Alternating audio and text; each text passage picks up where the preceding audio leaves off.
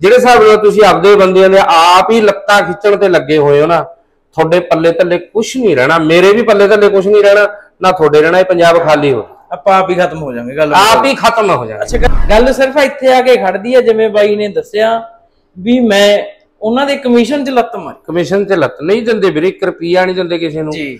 ਅੱਜ ਵੀ ਇਹੀ ਗੱਲ ਕਹਿੰਦੇ ਆ ਅੱਜ ਤੋਂ 2 ਸਾਲ 4 ਸਾਲ ਪਹਿਲਾਂ ਵੀ ਇਹੀ ਗੱਲ ਸੀ ਵੀ ਨਾ ਕਿਸੇ ਨੂੰ ਨਵਾਂ ਪੈਸਾ ਦੇਣਾ ਬੇਈਮਾਨੀ ਦੇ ਨਾਮ ਤੇ। ਜੇ 5 ਲੱਖ ਰੁਪਏ ਦਾ ਕੰਮ ਹੈ ਆਪਾਂ ਸਿਰਫ 60000 ਰੁਪਏ 'ਚ ਕੰਮ ਕਰ ਦਿੰਨੇ ਆ ਜੀ।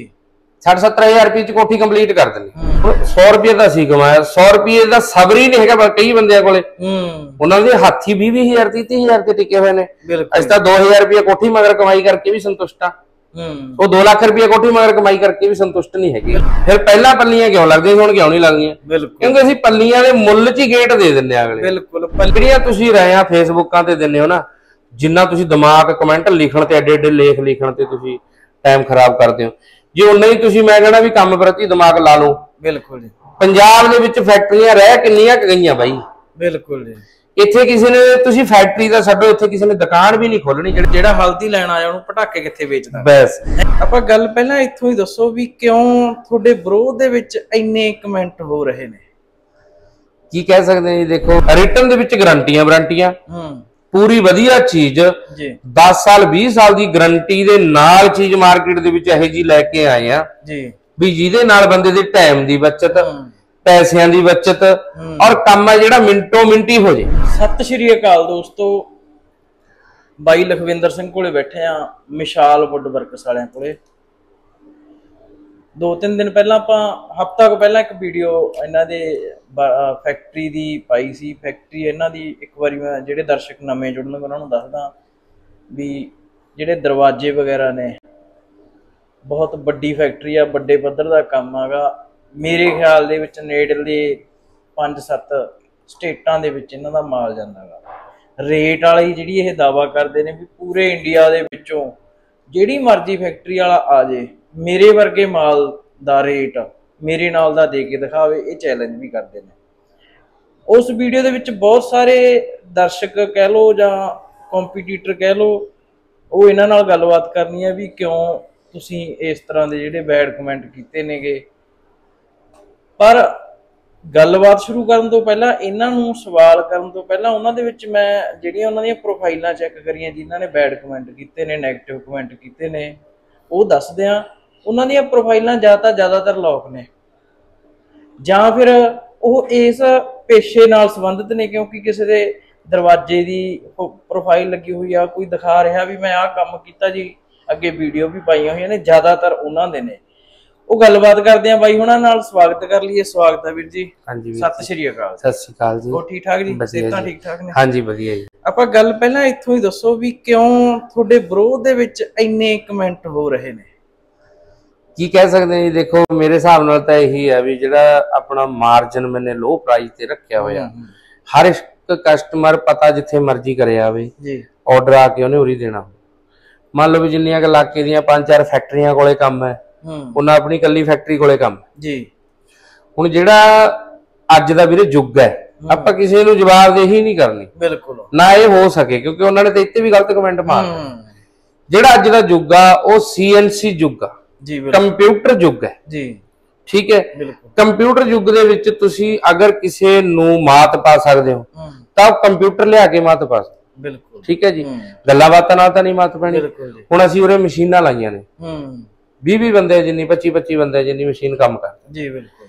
ਕੰਮ ਵੀ ਛੇਤੀ ਹੋ ਜਾਂਦਾ ਔਰ ਬਲਕ ਚ ਮਾਲ ਵੀ ਨਿਕਲ ਜਾਂਦਾ। ਸਸਤਾ ਸਾਨੂੰ ਪੈਂਦਾ ਸਸਤਾ ਚਲੋ ਅੱਗੇ ਵੇਚ ਹਾਂ। ਥੋੜੀ ਕਮਾਈ ਤੇ। ਥੋੜੀ ਕਮਾਈ ਤੇ। ਜੀ। ਉਹਦੇ ਵਿੱਚ ਕੀ ਹੈ ਜੀ ਮਸ਼ੀਨੀ ਯੁੱਗ ਦੇ ਵਿੱਚ ਅੱਜ ਕੱਲ ਦਾ ਜਿਹੜਾ ਮਾਹੌਲ ਆ ਘਰਾਂ ਦੇ ਵਿੱਚ ਮਿਸਤਰੀਆਂ ਨੂੰ ਜ਼ਿਆਦਾਤਰ ਅਗਲਾ ਕਹਿੰਦਾ ਯਾਰ 3 ਮਹੀਨੇ ਇਹ ਲਾ ਦੇਣਗੇ। ਜੀ। ਠੀਕ ਹੈ? ਮੰਨ ਲਓ ਵੀ 3 ਮਹੀਨੇ ਦਾ ਟਾਈਮ ਵੀ ਬਹੁਤ ਵੱਡਾ ਹੁੰਦਾ। ਜੀ ਬਿਲਕੁਲ। ਬਾਕੀ ਜਿਹੜਾ ਪੈਸਾ ਗਾ ਉਹ ਡਬਲ ਟ੍ਰਿਪਲ ਤੋਂ ਵੀ ਅੱਗੇ ਚਲਾ ਜਾਂਦਾ ਜੀ। ਹੂੰ। ਜੇ 5 ਲੱਖ ਰੁਪਏ ਦਾ ਕੰਮ ਹੈ ਆਪਾਂ ਸਿਰਫ 60000 ਰੁਪਏ 'ਚ ਕੰਮ ਕਰ ਦਿੰਨੇ ਆ ਜੀ। 60 70000 ਰੁਪਏ 'ਚ ਕੋਠੀ ਕੰਪਲੀਟ ਕਰ ਦਿੰਨੇ ਇੱਕ ਬੰਦੇ ਕੋਲੇ 5 ਲੱਖ ਹੈ ਨਹੀਂਗਾ ਹਾਂਜੀ। 60 70000 ਰੁਪਏ ਦੀ ਅਰੇਂਜਮੈਂਟ ਕਰ ਸਕਦਾ ਜੀ ਬਿਲਕੁਲ। 60 70000 ਰੁਪਏ ਦੇ ਵਿੱਚ ਉਹਨੇ ਗੇਟ ਲਾ ਲੇ ਚਲੋ ਅਸੀਂ ਨਹੀਂ ਕਹਿੰਦੇ ਵੀ ਤੁਹਾਨੂੰ 70000 ਰੁਪਏ ਦੇ ਵਿੱਚ ਅਸੀਂ ਕੋਈ ਖਰਾ ਹੀ ਸੋਨਾ ਦਿੱਤਾ। ਹਾਂ 5 ਲੱਖ ਵਾਲਾ ਤਾਂ ਦੇਣੋ ਕੋਈ ਵੀ ਰਿਹਾ। ਅਸੀਂ ਕਦੇ ਵੀ ਨਹੀਂ ਕਿਹਾ ਵੀ 5 ਲੱਖ ਰੁਪਏ ਦਾ ਮਾਲ ਤੁਹਾਨੂੰ 50000 ਚ ਦੇ ਦਾਂਗੇ। ਹੂੰ। ਜਾਂ 5 ਲੱਖ ਦਾ ਮਾਲ ਤੁਹਾਨੂੰ ਲੱਖ ਪਰ ਹਾਂ ਰਿਟਰਨ ਦੇ ਵਿੱਚ ਗਾਰੰਟੀਆਂ ਵਾਰੰਟੀਆਂ। ਹੂੰ। ਪੂਰੀ ਵਧੀਆ ਚੀਜ਼ ਜੀ। 10 ਸਾਲ 20 ਸਾਲ ਦੀ ਗਾਰੰਟੀ ਦੇ ਨਾਲ ਚੀਜ਼ ਮਾਰਕੀਟ ਦੇ ਵਿੱਚ ਇਹੋ ਜੀ ਲੈ ਕੇ ਆਏ ਆ। ਜੀ। ਵੀ ਜਿਹਦੇ ਨਾਲ ਬੰਦੇ ਦੀ ਟਾਈਮ ਦੀ ਬਚਤ ਪੈਸਿਆਂ ਦੀ ਬਚਤ ਔਰ ਕੰਮ ਹੈ ਜਿਹੜਾ ਮਿੰਟੋ ਮਿੰਟੀ ਹੋ ਜੇ। ਬਿਲਕੁਲ ਅੱਜ ਸਹਿਜ ਦਿੱਤਾ ਇੱਕ ਹਫ਼ਤੇ 'ਚ ਕੰਮ ਹੋ ਗਿਆ। ਬਿਲਕੁਲ ਜਿਵੇਂ ਤੁਸੀਂ ਕਿਹਾ ਵੀ ਜਦੋਂ ਬੰਦੇ ਦਾ ਬਜਟ ਪਹਿਲੀ ਗੱਲ ਕੀ ਨਾ ਜਦੋਂ ਦਰਵਾਜ਼ਿਆਂ ਤੇ ਕਿਸੇ ਦਾ ਘਰ ਆਉਂਦਾ ਨਾ ਦਰਵਾਜ਼ੇ ਲੱਗਣ ਤੇ ਜਦੋਂ ਉਦੋਂ ਤੱਕ ਇਨਸਾਨ ਨੁੱਚੜ ਚੁੱਕਿਆ ਹੁੰਦਾ ਇੱਕ ਵਾਰ ਐਂਡ ਤੇ ਕੰਮ ਹੈ ਬਿਲਕੁਲ ਐਂਡ ਤੇ ਉਦੋਂ ਤੱਕ ਜਮਾ ਨੁੱਚੜਿਆ ਹੁੰਦਾ ਉਦੋਂ ਹੁੰਦਾ ਲੋਕਾਂ ਸਿਆਣੇ ਸਿਆਣੇ ਨੇ ਸਾਰੇ। ਆਪਾਂ ਸਮਝ ਸਕਦੇ ਆ ਮੰਨ ਲਓ ਵੀ ਠੀਕ ਹੈ ਉਹਦਾ ਬਜਟ ਜਿਹੜਾ ਬਣਨਾ ਚਾਹੀਦਾ ਸੀ 5 ਲੱਖ ਦਾ ਚਾਹੀਦਾ ਸੀਗਾ। ਦਰਵਾਜ਼ੇ ਸਾਗਵਾਨ ਦੇ ਮਹਿੰਗੇ ਲੱਗਣੇ ਚਾਹੀਦੇ ਸੀ। ਪਰ ਫਿਲਹਾਲ ਉਹ ਬੰਦਾ ਹਲੇ ਉਸ ਬਜਟ ਦੇ ਵਿੱਚ ਆਇਆ ਨਹੀਂ ਉਸ ਹਿਸਾਬ ਚ ਆਇਆ ਨਹੀਂ। ਉਹਦਾ ਚਲੋ ਘਰ ਢਕਿਆ ਦਾ ਗਿਆ। ਘਰ ਟਕਿਆ ਗਿਆ। ਸਾਰੇ ਦਰਵਾਜ਼ੇ ਲਾਗੇ ਵਿੰਡੋਆਂ ਖਿੜਕੀਆਂ ਲੱਗੀਆਂ ਲੋਕਾਂ ਦੇ ਵਿੱਚ ਅੱਗੇ ਕੀ ਹੁੰਦਾ ਸੀ? ਅੱਗੇ ਅਗਲਾ ਪੰਨੀਆਂ ਲਾ ਲੈਂਦਾ ਸੀ। ਬਿਲਕੁਲ। ਜਦੋਂ ਦੀਆਂ ਫੈਕਟਰੀਆਂ ਮਾਰਕੀਟ ਦੇ ਵਿੱਚ ਆਈਆਂ ਨੇ ਤੁਸੀਂ ਕਿਸੇ ਘਰ 'ਚ ਪੱਲੀ ਲੱਗੀ ਦੇਖੀ ਹੈ? ਨਾ ਜੀ ਫਿਰ ਪਹਿਲਾਂ ਪੱਲੀਆਂ ਕਿਉਂ ਲੱਗਦੀਆਂ ਸੀ, ਹੁਣ ਕਿਉਂ ਨਹੀਂ ਲੱਗਦੀਆਂ? ਬਿਲਕੁਲ। ਕਿਉਂਕਿ ਅਸੀਂ ਪੱਲੀਆਂ ਦੇ ਮੁੱਲ 'ਚ ਹੀ ਗੇਟ ਦੇ ਦਿੰਦੇ ਆ ਅਗਲੇ। ਬਿਲਕੁਲ ਪੱਲੀਆਂ ਤੁਸੀਂ ਬਾਕੀ ਐ ਨਹੀਂ ਹੈਗਾ ਉਹ ਕਿੰਨਾ ਕਿ ਚਿਰ 10 ਸਾਲ ਤੱਕ ਕੱਢਦਾ ਹੋਊਗਾ ਜੀ ਮਾਲ? 10 ਸਾਲ ਤਾਂ ਵੈਸੀ ਦੇਖੋ 10 ਸਾਲ ਦੀ ਜਦੋਂ ਆਪਾਂ ਨੇ ਗਾਰੰਟੀ ਦੇਤੀ ਇਹ ਤਾਂ ਹੈ ਨਹੀਂ ਵੀ 11ਵੇਂ ਸਾਲ ਦੇ ਵਿੱਚ ਜਾ ਕੇ ਪੱਲੇ ਨੇ ਵੈਸੀ ਝੜ ਜਾਣਾ ਥੱਲੇ। ਹਾਂ ਜੀ ਹਾਂ। ਇਹਨਾਂ ਚੀਜ਼ਾਂ ਦੀ ਲਾਈਫ ਹੁੰਦੀ ਹੈ 20 25 ਸਾਲ ਕੁਝ ਨਹੀਂ ਹੁੰਦਾ। ਅਗਰ ਖਰਾਬ ਹੁੰਦਾ ਵੀ ਹੈ ਚਲੋ ਬਾਈ ਚਾਂਸ ਆਪਾਂ ਕਹਿ ਦਿੰਨੇ ਵੀ ਖਰਾਬ ਹੁੰਦਾ ਪੀਸ ਤਾਂ ਅਸੀਂ ਚੇਂਜ ਕਰਨ ਨੂੰ ਤਿਆਰ ਬੈਠੇ ਆ ਜੀ ਫਿਰ ਹੋਰ ਸਾਡੇ ਕੋਲੇ। ਤੁਸੀਂ ਸਾਡੇ ਕੋਲੇ ਪੁਰਾਣਾ ਪੱਲਾ ਲੈ ਕੇ ਆਓ ਅਸੀਂ ਨਵਾਂ ਨਾ ਦਈਏ ਫਿਰ ਤੁਸੀਂ ਜੋ ਮਰਜ਼ੀ ਕਹਿ ਲਓ ਸਾਨੂੰ। ਬਿਲਕੁਲ ਜੀ ਬਿਲਕੁਲ। ਸਾਡਾ ਉਹਨੇ ਸਾਡੀ ਫੈਕਟਰੀ 'ਚ ਜਲੂਸ ਕਰ ਦੋ ਹਾਂਜੀ। ਬਿਲਕੁਲ ਦਰਸ਼ਕੋ ਇੱਕ ਗੱਲ ਮੈਂ ਹੋਰ ਵੀ ਦੱਸਦਾ ਇਹ ਨਹੀਂ ਹੈ ਵੀ ਕੱਲੇ ਬੈਡ ਕਮੈਂਟ ਬਹੁਤ ਘੱਟ ਆਏ ਨੇ ਗਿਣਤੀ ਦੇ ਆਏ ਨੇ ਉਂਗਲਾਂ ਤੇ ਗਿਣਨ ਵਾਲੇ। ਪਰ ਮੇਰੇ ਮਨ ਦੇ ਵਿੱਚ ਥੋੜੀ ਜਿਹੀ ਕਸਕ ਪਈ ਅੱਜ ਬਾਈ ਹੁਣਾਂ ਕੋਲੇ ਆਏ ਹੋਏ ਸੀ। ਆਪਾਂ ਦਰਵਾਜ਼ਿਆਂ ਦੀ ਜਾਣਕਾਰੀ ਬਾਰੇ ਵੀਡੀਓ ਤਾਂ ਬਣਾਉਣੀ ਬਣਾਉਣੀ ਆ ਹੋਰ ਅਗਲੀ।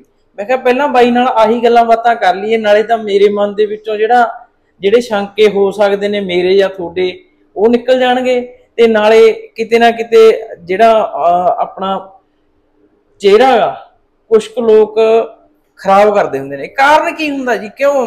ਤੁਹਾਨੂੰ ਕੀ ਲੱਗਦਾ ਵੀ ਕੀ ਕਾਰਨ ਆ ਵੀ ਤੁਹਾਡੇ ਤੇ 네ਗੇਟਿਵ ਕਮੈਂਟ ਸਾਰੀਆਂ ਫੈਕਟਰੀਆਂ ਤੇ ਆਉਂਦੇ ਨੇ ਤੁਹਾਡੇ ਇਕੱਲੇ ਤੇ ਨਹੀਂ।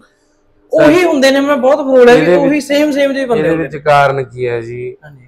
ਜੇ ਹੁਣ ਮੰਨ ਲਓ ਮੈਂ ਕਰੋੜਾਪਤੀ ਬੰਦਾ ਹੋਵਾਂ ਹੂੰ। ਮੈਂ ਆ ਕੇ ਇਲਾਕੇ ਦੇ ਵਿੱਚ ਫੈਕਟਰੀ ਲਾ ਲਈ ਮੇਰਾ ਵਿਰੋਧ ਕਰ ਲਓ ਕੋਈ ਦਿੱਕਤ ਨਹੀਂ। ਵੀ ਭਾਈ ਤੈਨੇ ਗਰੀਬਾਂ ਦੀ ਰੋਟੀ ਮਾਰਤੀ ਤੂੰ ਆਪ ਲੈਂਡਲੋਰਡ ਬੰਦਾ। ਹੁਣ ਮੈਂ ਤਾਂ ਆਪ ਹੀ ਖੁਦ ਹੀ ਗਰਾਊਂਡ ਲੈਵਲ ਤੋਂ ਉੱਠਿਆ ਹੋਇਆ ਬੰਦਾ। ਜੀ। ਮੈਂ ਤਾਂ ਖੁਦ ਦਿਹਾੜੀਆਂ ਕਰੀਆਂ ਨੇ ਮੈਂ ਤੁਹਾਨੂੰ ਆਪਦੇ ਹੱਥੀ ਕੰਮ ਕਰੇ ਹੋਏ ਦਿਖਾ ਦਿੰਦਾ। ਆਪਦੇ ਹੱਥੀ ਜਿਹੜੇ ਗੇਟ ਮੈਂ ਬਣਾ ਕੇ ਫਿੱਟ ਕਰੀ ਵੀਰੇ ਨਹੀਂ ਬਣਵਾਉਂਦਾ ਕੋਈ ਹੁਣ। ਬਿਲਕੁਲ। ਅਗਲਾ ਕਹਿੰਦਾ ਵੀਰੇ ਸਾਡਾ 15000 ਰੁਪਏ ਦਾ ਬਜਟ ਨਹੀਂ ਹੈਗਾ ਤੂੰ 15000 ਤੋਂ ਪਹਿਲਾਂ ਘੱਟ ਬਣਾਉਂਦਾ ਨਹੀਂ ਯਾਰ ਫਿਰ ਮੈਂ 15000 ਮੇਰੇ ਕੋਲੇ ਆਉਣਾ ਨਹੀਂ ਮੈਂ 3000 ਰੁਪਏ ਦਾ ਦਰਵਾਜ਼ਾ ਵੀ ਨਾ ਲੈ ਕੇ ਆਵਾਂਗੇ ਫਿਰ ਮੈਂ ਪੱਲੀ ਲਾਵਾਂ।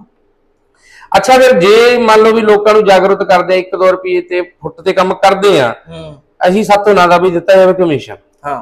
ਸਿੱਧੀ ਗੱਲ। ਜੀ ਬਿਲਕੁਲ ਹੁਣ 100 ਰੁਪਏ ਦਾ ਸੀ ਕਮਾਇਆ 100 ਰੁਪਏ ਦਾ ਸਬਰ ਹੀ ਨਹੀਂ ਹੈਗਾ ਪਰ ਕਈ ਬੰਦਿਆਂ ਕੋਲੇ। ਹੂੰ। ਉਹਨਾਂ ਦੇ ਹੱਥੀ 20-20000 30000 ਤੇ ਟਿਕੇ ਹੋਏ ਨੇ। ਅਸੀਂ ਤਾਂ 2000 ਰੁਪਏ ਕੋਠੀ ਮਗਰ ਕਮਾਈ ਕਰਕੇ ਵੀ ਸੰਤੁਸ਼ਟ ਆ। ਹੂੰ। ਉਹ 2 ਲੱਖ ਰੁਪਏ ਕੋਠੀ ਮਗਰ ਕਮਾਈ ਕਰਕੇ ਵੀ ਸੰਤੁਸ਼ਟ ਨਹੀਂ ਹੈਗੇ। ਬਿਲਕੁਲ ਤੁਸੀਂ ਤਾਂ ਇੱਕ ਦਿਹਾੜੀ ਦੇ ਵਿੱਚ ਪੰਜ ਕੋਠੀਆਂ ਨੂੰ ਮਾਲ ਦੇਣਾ। ਮਾਲ ਦੇਣਾ। ਜੇ ਤੁਹਾਨੂੰ 2000 ਬਚ ਗਏ ਤਾਂ 10000 ਬਚ ਗਿਆ। ਛੋਟੀ ਉਹਨਾਂ ਨੇ ਇੱਕ ਦੋ ਤਿੰਨ ਮਹੀਨਿਆਂ 'ਚ ਇੱਕ ਕੋਠੀ ਤਿਆਰ ਕਰਨੀ ਆ। ਛੋਟੀ ਜੀ ਮਸ਼ੀਨ ਸੀ ਰੰਦਾ ਮਸ਼ੀਨ। ਅੱਜ ਵੀ ਮੇਰੇ ਕੋਲੇ ਖੜੀ ਆ ਆ ਕੇ ਦੇਖ ਸਕਦੇ ਨੇ ਮਿਸਤਰੀ ਭਾਈ। ਮੈਂ ਵੀ ਇੱਕ ਮਿਸਤਰੀ ਆ। ਮੇਰਾ ਵਿਰੋਧ ਕਰਕੇ ਕੁਛ ਨਹੀਂ ਹੋਣਾ। ਮੈਂ ਤਾਂ ਇਹ ਕਹਿੰਦਾ ਵੀ ਚਲੋ ਇਲਾਕੇ ਦੇ ਵਿੱਚ ਹਰ ਪਿੰਡੋਂ ਪਿੰਡੀ ਫੈਕਟਰੀਆਂ ਲੱਗ ਜਾਣ ਹੂੰ। ਤੁਸੀਂ ਵੀ ਪੰਜ ਬੰਦੇ ਇਕੱਠੇ ਹੋ ਕੇ ਲਾ ਲਓ ਕੰਮ ਕਰ ਲਓ। ਮੇਰੇ ਕੋਲੇ ਆ ਜਾਓ ਤੁਹਾਨੂੰ ਮੈਂ ਮਸ਼ੀਨਾਂ ਦੇ ਦਿੰਨਾ ਅੱਛਾ ਮੈਨੂੰ ਇਹ ਮਸ਼ੀਨਾਂ ਦਬਾ ਦਿੰਦੇ ਆ ਤੁਹਾਨੂੰ। ਮੁੰਡੇ ਕਿੰਨੇ ਕੰਮ ਕਰਦੇ ਨੇ ਇਸ ਟਾਈਮ ਕੋਲ ਮੇਰੇ ਕੋਲੇ ਜੀ ਜਿੰਨੇ ਵੀ ਉਰੇ ਏਰੀਏ ਦੇ ਮਿਸਤਰੀ ਨੇ ਬਹੁਤ ਮੰਨ ਲਓ ਵੀ ਤਕਰੀਬਨ ਤਕਰੀਬਨ 50% ਮਿਸਤਰੀ। ਜੀ। ਸਾਰੇ ਮੈਂ ਉੱਟੇ ਹੋਏ। ਠੀਕ ਹੈ ਜੀ। ਦੂਰ ਦੂਰ ਉਹਨਾਂ ਨੂੰ ਮਾਲ ਚਾੜਨ ਭੇਜਦੇ ਆ। ਹੂੰ। ਸਾਈਜ਼ ਲੈਣ ਵਾਲੇ ਮਿਸਤਰੀ ਅੱਡ ਰੱਖੇ ਹੋਏ ਨੇ ਚਾੜਨ ਵਾਲੇ ਅੱਡ ਰੱਖੇ ਹੋਏ ਨੇ ਫੈਕਟਰੀ 'ਚ ਕੰਮ ਕਰਨ ਵਾਸਤੇ ਅੱਡ ਰੱਖੇ ਹੋਏ ਨੇ। ਮੰਨ ਲਓ ਵੀ 50 60 ਬੰਦੇ ਕਿ ਜ਼ਿਆਦਾ ਨੇ? ਘੱਟੋ ਘੱਟ ਹੈਗੀ ਆ 200 250 ਬੰਦੇ ਦੀ ਟੀਮ ਬਾਕੀ ਦੋਸਤੋ ਗੱਲ ਮੈਂ ਇੱਕ ਬਾਈ ਦੀ ਇੱਕ ਵੱਡੀ ਸਿਫਤ ਦੱਸਦਾ। ਜਿਹੜੀ ਅੱਜ ਸਾਡੇ ਆਮ ਨਾ ਕੋਈ ਵੀ ਬੰਦਾ ਫੈਕਟਰੀ ਲਾ ਲੈਂਦਾ ਹੈਗਾ ਸਭ ਤੋਂ ਪਹਿਲਾਂ ਉਹ ਉਹ ਕਮੀ ਮੈਂ ਦੇਖਦਾ ਉਹਨਾਂ 'ਚ ਉਹ ਪਹਿਲਾਂ ਪ੍ਰਵਾਸੀਆਂ ਨੂੰ ਮੁਲਾਜ਼ਮ ਰੱਖਦਾ ਹੈਗਾ। ਸਾਰੀਆਂ ਫੈਕਟਰੀਆਂ ਸਾਨੂੰ ਭਈਏ ਮਿਲਣਗੇ ਹਾਂ ਇੱਥੇ ਬਾਈ ਕੋਲੇ ਇੱਕ ਵੀ ਨਹੀਂ ਹੈਗਾ। ਮੈਂ ਅੰਦਰ ਆ ਕੇ ਜਦ ਮਰਜ਼ੀ ਆ ਕੇ ਦੇਖ ਲਿਓ ਸਾਰੇ ਪੰਜਾਬੀ ਮੁੰਡੇ ਕੰਮ ਕਰਦੇ ਨੇ। ਇਹ ਨਹੀਂ ਹੈਗਾ ਵੀ ਉਹਨਾਂ ਦੇ ਰੁਜ਼ਗਾਰ 'ਚ ਲੱਤ ਮਾਰੀ ਆ। ਗੱਲ ਸਿਰਫ ਇੱਥੇ ਆ ਕੇ ਖੜਦੀ ਆ ਜਿਵੇਂ ਬਾਈ ਨੇ ਦੱਸਿਆ ਵੀ ਮੈਂ ਉਹਨਾਂ ਦੇ ਕਮਿਸ਼ਨ 'ਚ ਲੱਤ ਮਾਰੀ। ਕਮਿਸ਼ਨ ਤੇ ਲੱਤ ਨਹੀਂ ਦਿੰਦੇ ਵੀਰੇ 1 ਰੁਪਿਆ ਨਹੀਂ ਦਿੰਦੇ ਕਿਸੇ ਨੂੰ। ਜੀ। ਅੱਜ ਵੀ ਇਹੀ ਗੱਲ ਕਹਿੰਦੇ ਆ ਅੱਜ ਤੋਂ 2 ਸਾਲ 4 ਸਾਲ ਪਹਿਲਾਂ ਵੀ ਇਹੀ ਗੱਲ ਸੀ ਵੀ ਨਾ ਕਿਸੇ ਨੂੰ ਨਵਾਂ ਪੈਸਾ ਦੇਣਾ ਬੇਈਮਾਨੀ ਦੇ ਨਾਮ ਤੇ। ਗਾਹਕ ਨੂੰ ਜੇ 3000 ਰੁਪਏ ਦੀ ਚੀਜ਼ ਪੈਂਦੀ ਹੈ ਤਾਂ ਉਹ ਗਾਹਕ ਨੂੰ ਸਿੱਧੀ 3000 ਰੁਪਏ ਦੀ ਵੇਚਤੀ। ਅਗਲਾ ਚਾਹੇ ਕੋਈ ਆਪਾਂ ਨੂੰ ਗਲਤ ਕਹੀ ਜਾਵੇ ਕੋਈ ਸਹੀ ਕਹੀ ਜਾਵੇ। ਅੱਛਾ ਹੁਣ ਆਪਾਂ ਜਿੰਨੀ ਮਰਜ਼ੀ ਗੱਲ ਖਿੱਚ ਲਈਏ ਜੀ। ਹਾਂ। ਇਹਦਾ ਐਂਡ ਨਹੀਂ ਹੈਗਾ। ਕੋਸ਼ਿਸ਼ ਕਰਾਂਗੇ ਬੇਨਤੀ ਕਰਾਂਗੇ ਜਿਹੜੇ ਵੀਰਾਂ ਨੂੰ ਲੱਗਦਾ ਵੀ ਕੰਮ ਦਾ ਨੁਕਸਾਨ ਹੋਇਆ ਬਾਈ ਕੋਲੇ ਤੁਸੀਂ ਆ ਕੇ ਕੰਮ ਫੜ ਲਓ। ਕੰਮ ਦੇਊਗਾ ਦੇਓਗੇ ਬਾਈ ਕੰਮ ਤੁਸੀਂ ਇਹਨਾਂ ਨੂੰ? ਕੰਮ ਦੇਵਾਂਗੇ ਜੀ ਕੰਮ ਦੇਊਗਾ ਬਾਈ। ਕਿਸੇ ਦੀਆਂ ਲੱਤਾਂ ਖਿੱਚਣ ਦੀ ਬਜਾਏ ਉਹਨੂੰ ਪਿੱਛੋਂ ਧੱਕੋ ਨਾਲ ਅਗਲਾ ਤਾਹਾਂ ਬਾਹਰੇ ਨਿਕਲ ਕੇ ਤੁਹਾਨੂੰ ਵੀ ਖਿੱਚ ਲੂਗਾ। ਜੇ ਤੁਸੀਂ ਉਹਨੂੰ ਬਾਹਰੇ ਕੱਢੋਗੇ ਅਗਲਾ ਤੁਹਾਨੂੰ ਕੱਢ ਦੂਗਾ ਜੀ।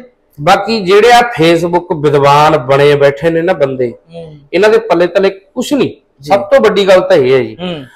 ਦੂਸਰੀ ਗੱਲ ਮੈਂ ਇਹ ਕਹਿੰਦਾ ਵੀ ਤੁਸੀਂ ਫੇਸਬੁੱਕ ਜੋਗੀ ਰਹਿ ਜਾਓਗੇ। ਜੀ ਬਿਲਕੁਲ। ਜਿਹੜੀਆਂ ਤੁਸੀਂ ਰਹੇ ਆ ਫੇਸਬੁੱਕਾਂ ਤੇ ਦਿੰਦੇ ਹੋ ਨਾ ਜਿੰਨਾ ਤੁਸੀਂ ਦਿਮਾਗ ਕਮੈਂਟ ਲਿਖਣ ਤੇ ਐਡੇ ਐਡੇ ਲੇਖ ਲਿਖਣ ਤੇ ਤੁਸੀਂ ਟਾਈਮ ਖਰਾਬ ਕਰਦੇ ਹੋ। ਜੇ ਉਨਾ ਹੀ ਤੁਸੀਂ ਮੈਂ ਕਹਿੰਦਾ ਵੀ ਕੰਮ ਪ੍ਰਤੀ ਦਿਮਾਗ ਲਾ ਲਓ। ਬਿਲਕੁਲ ਜੀ। ਪੰਜਾਬ ਦੇ ਵਿੱਚ ਫੈਕਟਰੀਆਂ ਰਹਿ ਕਿੰਨੀਆਂ ਕੁ ਗਈਆਂ ਬਾਈ? ਬਿਲਕੁਲ ਜੀ। ਇੱਥੇ ਕਿਸੇ ਨੇ ਤੁਸੀਂ ਫੈਕਟਰੀ ਦਾ ਛੱਡੋ ਇੱਥੇ ਕਿਸੇ ਨੇ ਦੁਕਾਨ ਵੀ ਨਹੀਂ ਖੋਲਣੀ ਜਿਹੜਾ ਬਾਹਰ ਜਾਈ ਜਾਂਦੇ ਨੇ। ਪਲਾਨ ਕਰੀ ਜਾਂਦੇ ਨੇ ਲਗਾਤਾਰ ਨਾਲੇ ਤਾਂ ਇਹ ਚੀਕੀ ਜਾਣਗੇ ਇੰਡਸਟਰੀ ਲਿਆਵੇ ਉਹ ਲਿਆਵੇ ਭਗਵੰਤ ਮਾਨ ਨੂੰ ਕਹਿਣਗੇ ਤੁਸੀਂ ਇੰਡਸਟਰੀ ਲਿਆ ਕੇ ਆਓ ਫਿਰ ਤੁਸੀਂ ਨੇ ਜਦੋਂ ਇੰਡਸਟਰੀਆਂ ਉਰੇ ਆ ਜਾਂਦੀਆਂ ਨੇ ਪਹਿਲੀ ਗੱਲ ਤਾਂ ਪੰਜਾਬੀਆਂ ਨੂੰ ਚ ਕੰਮ ਹੀ ਨਹੀਂ ਕਰਨਾ। ਆਪਣਾ ਪੰਜਾਬੀ ਕੰਮ ਹੀ ਬਹੁਤ ਘੱਟ ਕਰਕੇ ਰਾਜੀ ਜੀ ਕਦੇ ਭੋਗ ਆ ਗਿਆ ਕਦੇ ਮਰਗਤ ਆ ਗਈ ਕਦੇ ਵਿਆਹ ਆ ਗਿਆ ਕਦੇ ਕੁਛ ਆ ਗਿਆ। ਕਿਆ ਲੋਕਲ ਹੁੰਨੇ ਜਾਣਾ ਪੈਂਦਾ ਸਰਕਲ ਹੈਗਾ। ਬਿਲਕੁਲ। ਭਈਆ ਇੱਕ ਵਾਰ ਤੁਹਾਡੇ ਕੋਲੇ ਆ ਗਿਆ ਮੁੜ ਕੇ ਉਹਨੇ ਕਿਤੇ ਨਹੀਂ ਜਾਣਾ 6 ਮਹੀਨੇ। 6 ਮਹੀਨੇ ਬਾਅਦ 10 ਦਿਨ ਉਹ ਲਾ ਕੇ ਉਦੋਂ ਬਾਅਦ ਕਿਤੇ ਨਹੀਂ ਜਾਣਾ। ਜਿਹੜੇ ਹਿਸਾਬ ਨਾਲ ਤੁਸੀਂ ਆਪਦੇ ਬੰਦਿਆਂ ਦੇ ਆਪ ਹੀ ਲੱਤਾਂ ਖਿੱਚਣ ਤੇ ਲੱਗੇ ਹੋਏ ਹੋ ਨਾ ਤੁਹਾਡੇ ਪੱਲੇ ਥੱਲੇ ਕੁਝ ਨਹੀਂ ਰਹਿਣਾ। ਮੇਰੇ ਵੀ ਪੱਲੇ ਥੱਲੇ ਕੁਝ ਨਹੀਂ ਰਹਿਣਾ ਨਾ ਤੁਹਾਡੇ ਰਹਿਣਾ ਇਹ ਪੰਜਾਬ ਖਾਲੀ ਹੋ। ਆਪਾਂ ਆਪ ਹੀ ਖਤਮ ਹੋ ਜਾਵਾਂਗੇ ਗੱਲ ਆਪ ਹੀ ਖਤਮ ਹੋ ਜਾਣਾ ਅੱਛਾ ਗੱਲ ਇਹ ਆ ਜੀ ਅੱਜ ਆਪਾਂ ਦਰਸ਼ਕਾਂ ਨੂੰ ਹੁਣ ਵੀਡੀਓ ਚੱਲਦੀ ਹੈ ਇਹਦੇ ਵਿੱਚ ਰੇਟ ਵੀ ਦੱਸ ਦਈਏ ਵੀ ਤੁਸੀਂ ਕਿੱਥੋਂ ਸਟਾਰਟ ਕਰਦੇ ਹੋ ਰੇਟ ਤੇ ਕਿੱਥੇ ਤੱਕ ਤੁਹਾਡੇ ਅਖੀਰ ਆਗਾ ਵੀ ਜਿਹੜਾ ਤੁਸੀਂ ਪੱਲੇ ਤਿਆਰ ਕਰਦੇ ਹੋ ਕੀ ਕੁਝ ਤਿਆਰ ਕਰਦੇ ਹੋ? ਦੇਖੋ ਜੀ ਮੈਨੂੰ ਟੋਟਲ ਮੈਨੇ ਗੁਜਰਾਤ ਤੋਂ ਮੇਰੀ ਸਿੱਧੀ ਲੱਕੜ ਆਉਂਦੀ। ਜੀ। ਠੀਕ ਹੈ? ਗੁਜਰਾਤ ਤੋਂ ਮੇਰੀ ਸਿੱਧੀ ਲੱਕੜ ਆਉਂਦੀ ਹੈ ਜੇ ਮੈਨੂੰ ਪੱਲਾ 2900 ਰੁਪਏ ਦਾ ਪੈਂਦਾ ਮੈਂ 3000 ਦਾ ਵੇਚ ਠੀਕ ਹੈ ਜੀ। ਉਹਦਾ ਕੋਈ ਮੁਕਾਬਲਾ ਹੀ ਨਹੀਂ ਹੈਗਾ। ਉਹਦਾ ਕੋਈ ਮੁਕਾਬਲਾ ਹੈਗਾ ਜੀ ਕੋਈ ਮੁਕਾਬਲਾ? ਜਦੋਂ ਮਾਲ ਇਕੱਠਾ ਆ ਗਿਆ। ਜਿੱਥੋਂ ਤੁਹਾਡਾ ਮਾਲ ਬਣ ਗਿਆ ਜਿੱਥੋਂ ਪੈਦਾ ਹੋ ਗਈ ਚੀਜ਼ ਉੱਥੋਂ ਸਿੱਧੀ ਮੇਰੇ ਕੋਲੇ ਆ ਗਈ ਮੇਰੇ ਤੋਂ ਸਿੱਧੀ ਕਸਟਮਰ ਦੇ ਘਰੇ ਵਗ ਗਈ। ਇਹ ਚੀਜ਼ ਦਾ ਕੋਈ ਮੁਕਾਬਲਾ ਇਸੇ ਕਰਕੇ ਹੀ ਮੈਂ ਚੈਲੰਜ ਕਰਦਾ ਵੀਰੇ ਵੀ ਕੋਈ ਬੰਦਾ ਉਰੇ ਆਵੇ ਮੇਰੇ ਚ ਕਸੂਰ ਕੱਢੇ ਆ ਕੇ। ਮਟੀਰੀਅਲ ਚ ਕਸੂਰ ਨਹੀਂ ਹੈਗਾ ਇਨਵੈਸਟਮੈਂਟ ਹੈ ਬਸ। ਬਿਲਕੁਲ। ਜਦੋਂ ਸਾਡੇ ਕੋਲੇ ਕਸਟਮਰ ਆਉਂਦਾ ਹਾਂਜੀ। ਅਸੀਂ ਉਹਨੂੰ 3000 ਵਾਲਾ ਪੱਲਾ ਵੀ ਦਿਖਾਉਂਦੇ ਆ ਜੀ। ਅਸੀਂ ਉਹਨੂੰ 4000 ਵਾਲਾ ਵੀ ਦਿਖਾਉਂਦੇ ਆ। ਅਸੀਂ ਉਹਨੂੰ 10000 ਵਾਲਾ ਵੀ ਦਿਖਾਉਂਦੇ ਆ ਅਸੀਂ ਉਹਨੂੰ 15000 ਵਾਲਾ ਜੀ ਬਿਲਕੁਲ।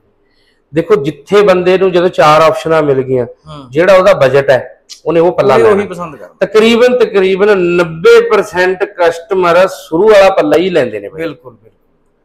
ਅਸੀਂ ਤਾਂ ਕਹਿੰਦੇ ਆ ਵੀ ਸਾਗਵਾਨ ਲਾਓ ਪਰ ਜਿਹਦਾ ਬਜਟ ਹੀ 3000 ਰੁਪਏ ਦਾ ਉਹਨੂੰ ਤੁਸੀਂ 10000 ਵਾਲਾ ਪੱਲਾ ਨਹੀਂ ਦੇ ਸਕਦੇ। ਬਿਲਕੁਲ ਜੀ ਬਿਲਕੁਲ। ਜਿਹੜਾ ਹਲਦੀ ਲੈਣ ਆਇਆ ਉਹਨੂੰ ਪਟਾਕੇ ਕਿੱਥੇ ਵੇਚਦਾ? ਬਸ। ਕਿਉਂਕਿ 3000 ਰੁਪਏ ਦਾ ਪੱਲਾ ਰਸ਼ੀਅਨ ਕੈਲ ਦਾ ਉਸ ਤੋਂ ਬਾਅਦ 5000 ਦਾ ਪੱਲਾ ਸ਼ੰਕਰ ਮਰਿੰਡੀ ਦਾ ਫਿਰ ਉਸ ਤੋਂ ਬਾਅਦ ਦਿਨੇ ਵਾਲਾ ਪੱਲਾ ਆ ਜਾਂਦਾ ਹੈ ਫਿਰ ਉਸ ਤੋਂ ਬਾਅਦ ਸਾਗਵਾਨ ਦਾ ਪੱਲਾ ਆ ਜਾਂਦਾ। ਸੀ ਸਾਰੀਆਂ ਕੁਆਲਿਟੀਆਂ ਕਸਟਮਰ ਨੂੰ ਦਿਖਾ ਦਿੰਦੇ ਆ ਪਰ ਵੀਰੇ ਕਸਟਮਰ ਆਪਦੀ ਜੇਬ ਦੇਖ ਕੇ ਮਾਲ ਖਰੀਦਦਾ। ਬਿਲਕੁਲ ਬਿਲਕੁਲ। ਇਹ ਵੱਡੀ ਗੱਲ ਆ ਜੀ। ਹਾਂਜੀ।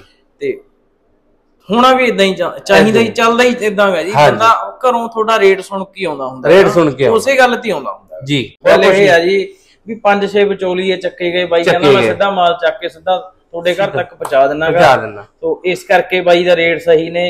ਇਹਨੂੰ ਇਸ ਇਸ ਪਾਸੇ ਨਾ ਲੈ ਕੇ ਜਾਓ। ਵੀ ਪਤਾ ਨਹੀਂ ਮਾਲ ਮਾੜਾਗਾ ਇਹਨੂੰ ਇਸ ਪਾਸੇ ਲੈ ਜਾਓ ਵੀ ਬੰਦਾ ਸਿੱਧਾ ਮਾਲ ਇਕੱਠਾ ਖਰੀਦਦਾਗਾ ਇਹਨੂੰ ਭੱਜ ਪੈਂਦਾਗਾ ਇਹ ਗਾਹਾਂ ਸਾਨੂੰ ਭਾਜ ਦੇ ਦਿੰਦਾਗਾ ਵੀਡੀਓ ਵਧੀ- ਵਧੀਆ ਲੱਗੀ ਤਾਂ ਸ਼ੇਅਰ ਜ਼ਰੂਰ ਕਰ ਦਿਓ।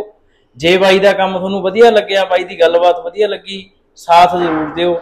ਤਾਂ ਜੋ ਭਵਿੱਖ ਦੇ ਵਿੱਚ ਇਹੋ ਜਿਹਾ ਕੰਮ ਹੋਰ ਕਰਨ ਲੱਗੇ ਵੀ ਲੋਕ ਡਰਨ ਨਾ, ਸਾਡੇ ਕਮੈਂਟ ਪੜ ਪੜ ਕੇ ਸੰਕੋਚ ਨਾ ਕਰਨ, ਪਿੱਛੇ ਨਾ ਹਟਣ, ਕਿੱਥੇ ਇਹ ਅੱਗੇ ਵਧੇ ਤੇ ਹੋਰ ਵੀ ਆਉਣ, ਇਸ ਕੰਮ ਦੇ ਵਿੱਚ ਹੋਰ ਨਾ ਕੰਮਾਂ ਦੇ ਵਿੱਚ। ਜੇ ਤੁਸੀਂ ਇਦਾਂ ਹੀ ਕਰਦੇ ਰਹੇ, ਤਾਂ ਇਹ ਵੀ ਬਾਈ ਛੱਡ ਕੇ ਗੁਜਰਾਤ ਵਗ ਜੂਗਾ ਤੇ ਹੋਰਾਂ ਨੇ ਆਉਣਾ ਹੀ ਨਹੀਂ। ਸੋ ਧੰਨਵਾਦ ਬਾਈ ਲਖਵਿੰਦਰ ਸਿੰਘ ਦਾ, ਕੀਮਤੀ ਸਮੇਂ ਚ ਸਮਾਂ ਦਿੰਦਾ। ਧੰਨਵਾਦ ਸਾਰੇ ਸਾਰੇ ਦਰਸ਼ਕ ਵੀਰਾਂ ਦਾ। ਭੈਣਾਂ ਦਾ ਭਰਾਵਾਂ ਦਾ ਜਿਹੜੇ ਇੰਨਾ ਪਿਆਰ ਦਿੰਦੇ ਹੋ। ਸਤਿ ਸ਼੍ਰੀ ਅਕਾਲ।